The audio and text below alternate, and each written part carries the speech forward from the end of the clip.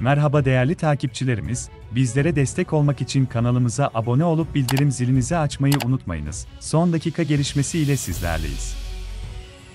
Birleşik Arap Emirlikleri devinden Türkiye kararı, vazgeçtiler. Süper Lig'e yükselen Ümraniye Spor'un Birleşik Arap Emirlikleri merkezli Emar Grup'a satışı gerçekleşmedi. Ümraniye Spor 2021-22 sezonunda TLF 1. Ligi 2. sırada bitirerek Süper Lig'e yükseldi. İstanbul temsilcisi tarihinde ilk kez Türk futbolunun en üst seviyesinde yer alacak. Birleşik Arap Emirlikleri merkezli Şeyh Muhammed bin Raşid El Mektum Birleşik Arap Emirlikleri'nin başkan yardımcısı, başbakanı ve Dubai Emirliği'nin hükümdarı da El Maktum'un ortağı olduğu gayrimenkul şirketi Emar, Ümraniye Spor'u satın alma teklifinde bulundu. Ajans Spor'un haberine göre yaşanan gelişmelerin ardından görüşmeler olumsuz sonuçlandı ve satış iptal oldu. Kıymetli takipçilerimiz bir haberimizin daha sonuna geldik. Bir sonraki haberimizde görüşmek üzere.